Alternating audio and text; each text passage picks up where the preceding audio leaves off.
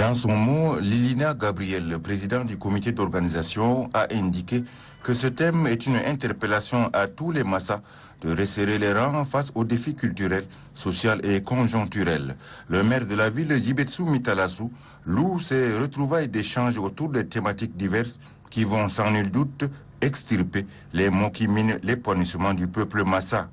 Dans la même veine, le président de l'association fêtière Tapikep, Jimé Clément Bagao, déclare que le bon vivre social commande de corriger certaines tares qui freinent le développement tout en sollicitant des autorités administratives de les accompagner dans ce sens. Lançant les travaux du forum, le gouverneur de la province du Mayo-Kébi Est, Abdelkerim Seïd Bouch, dit que le gouvernement encourage ce genre de rencontres, l'une des solutions majeures en vue de la réconciliation des filles et fils du Tchad dans la paix. Enfin, Abdelkerim Bouch exhorte les participants à être des artisans de la paix et du vivre ensemble pour nous épargner des conflits et affrontements intercommunautaires gratuits.